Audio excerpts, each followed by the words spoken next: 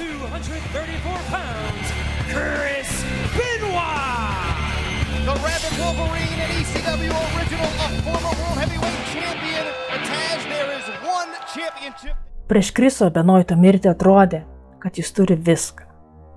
Krisas buvo profesionalus imtynininkas, dar žinomas kaip Kanados kripleriu.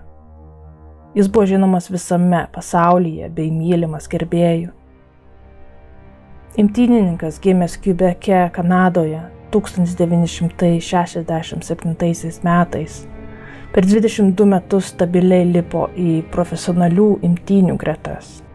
Pradėjęs karjerą Kanadoje, jis toliau grūmėsi Japonijoje, kol 2000-aisiais prisijungė prie Vinco McHohono World Wrestling Entertainment WWE. Benoitas buvo viena iš WWE žvaigždžių, pasiekęs ne vieną čempiono vardą. Tačiau viskas pasikeitė per tris dienas 2007 m. birželį, kai jis pasaulį nežinant ir prieš atimdamas savo gyvybę nužudė savo žmoną Nancy ir savo septyniarių metų sūnų Daniel. Tų metų birželio 24-ąją Krisas turėjo, bet dėja jis ten nepasirodė. Ta pačią dieną Kriso draugas Čiavo Guerrero iš imtininko gavo keistą žinutę. Pasak pranešimų, Benoitas buvo parašęs. Šunys yra uždaryti baseino zonoje, o galinės duris atidarytos. Ir taip pat parašė savo adresą. Taip pat jis tą šeštadienį iš Benoito telefono gavo balso žinutę, kurioje jis teigė, jog tiek Nancy, tiek Danielis apsinuodijo maistu ir Krisas vėluos į tos nakties renginį. Guerrero perskambino Krisui ir išgirdo, kad jo balsas buvo graudus ir pavargęs. Ir jis patvirtino viską, ką jau buvo pasakęs savo balso žinutėje.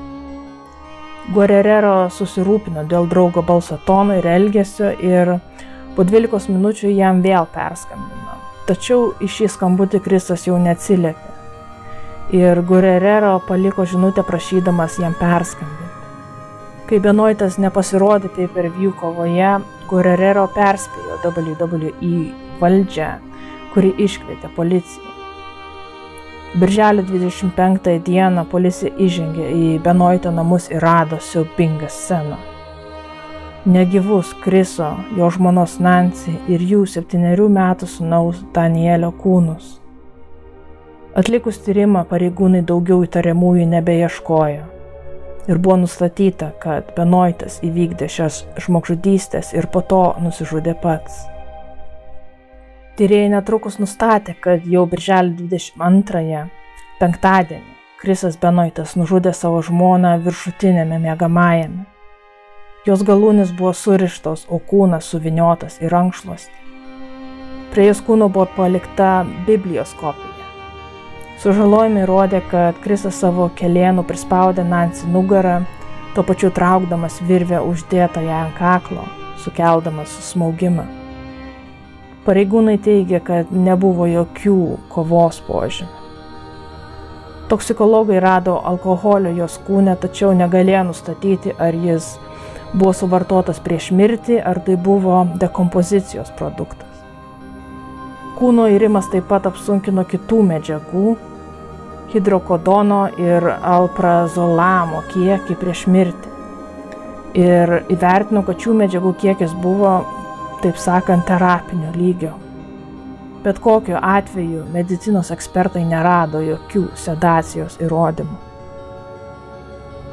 Berniukas Danielis buvo uždusintas ir nužudytas savo mėgamajame. Ir prie jo kūno taip pat buvo palikta Biblijos kopija.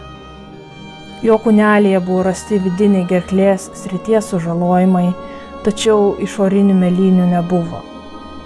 Tikslus Danieliaus mirties laikas nežinomas. Ataskaitose nustatyta, kad berniukas buvo apsvaigintas Ksanaksu ir greičiausiai buvo besąmonės, kai tėvas jį nužudė. Berniuko kūnas taip pat jau buvo pradėjęs irti, tačiau kūno dekompozicija buvo trumpesnė nei mamos. Tada, prieš tai, kai Krisas Benoitas atėmė savo gyvybę, jis atliko keletą paieškų internete. ABC naujienų pranešimais jis ieškojo istorijų apie pranašą Eliją, kuris kadaise prikėlė berniuką iš numirusiųjų. Tada Benoit ieškojo lengviausio būdo, kaip žmogus galėtų susilaužyti kaklą. Padėjęs Biblijos kopijas prie žmonos ir sunaus palaikų, jis nuėjo į šeimos namų sporto salę. Apsirišo laidą aplink kaklą, pritvirtino jį prie sunkiausios varmens ant svorio mašinos ir paleido. Iš pradžių WWE tą pačią birželio 25-ąją atšaukė suplanuotą 3 valandų trukmės gyvą Raw show ir pakeitė transliacijos versiją Kriso gyvenimui ir karjerai pažymėti. Tačiau paaiškėjus dvigubos žmogžudystės ir savižudybės detalėms, WWE greitai ir tyliai pradėjo atsiriboti nuo šio imtynininko pašalindami jo vardą iš tinklapio, su juo susijusias prekes, video diskus ir bet kokį jo vardo paminėjimą. Šis įvykis sukrėtė imtinių pasaulį. Kilo klausimai apie WWE narkotinių medžiagų testavimo politiką, benoito steroidų vartojimą ir kaip jo ilga imtinių karjera galėjo paveikti jo smegenis. Benoitas vartojo steroidus ir testosteroną, nepaisydamas WWE taisyklių, o jų oponentai dažnai jam smogdavo į galvą sunkiais daiktais. Nors atrodė, kad Krisas gali normaliai funkcionuoti už ringo ribų, susituokti du kartus ir turėti tris vaikus, jis kartais demonstruodavo smurtinį elgesį. Jo antroji žmona Nancy pateikė skirybų prašymą netrukus po to, kai jie susitokė 2000 metais. Pasak pranešimų, Nancy teigia, kad Krisas gali būti nenuspėjamas, kai būdavo blogoje nuotaikoje. Ir ji nerimavo, kad jis gali skaudinti ją ar jų sūnų Danielių. Tačiau vėliau Nancy atsijėmė savo skirybų prašymą. Benoito skrodimas taip pat pasiūlė keletą atsakymų. Buvo teigiama, kad imtynininkas turėjo... Tai buvo dažnas reiškinys tarp sportininkų, kurie piknaudžiavė steroidais ir augimo hormonais.